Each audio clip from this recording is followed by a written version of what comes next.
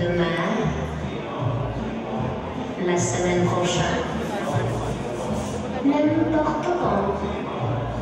Mmh, c'est bon. C'est bon. Il sera très crazy.